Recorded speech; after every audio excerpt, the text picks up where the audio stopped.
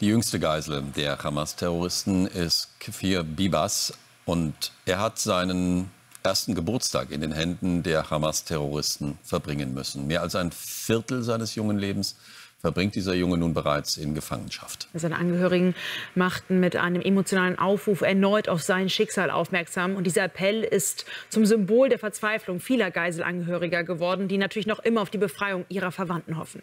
Es ist ein Geburtstagsgruß, der um die Welt geht. Birthday to you. Happy birthday, dear Cleo. Happy birthday to you.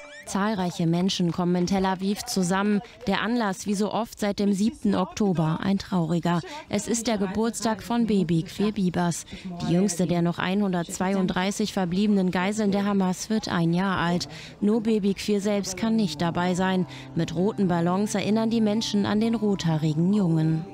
104 Tage. Es sind 104 Tage, in denen er nichts isst, nicht anfangen kann zu laufen, zu krabbeln, Dinge zu tun, die er als Kind tun sollte.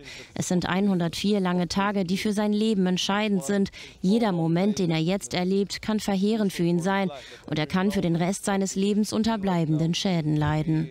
Auch in Berlin sind die Gedanken bei dem kleinen Jungen. Damit sein Schicksal nicht in Vergessenheit gerät, haben Künstler bewegende Bilder angefertigt. Eine Organisation zur Bekämpfung von Antisemitismus hat die Ausstellung organisiert.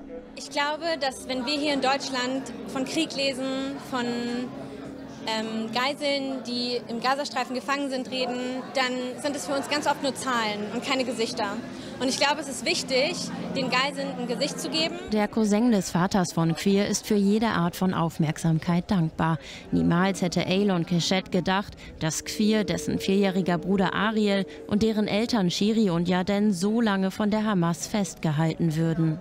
Wir waren sicher, dass die Welt das nicht zulassen würde, dass die internationale Unterstützung, das Rote Kreuz, UNICEF, die UN so hart wie möglich kämpfen und sie nach Hause bringen und diese Gräueltaten und diesen monströsen Akt verurteilen würde.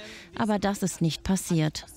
Ob Familie Bibas noch lebt, ist nicht bekannt. Schon vor einigen Wochen hatten die Terroristen erklärt, dass Shiri und ihre zwei Söhne gestorben seien. Aufgeben werden ihre Angehörigen jedoch nicht. Sie kämpfen weiter für die Freilassung ihrer Liebsten.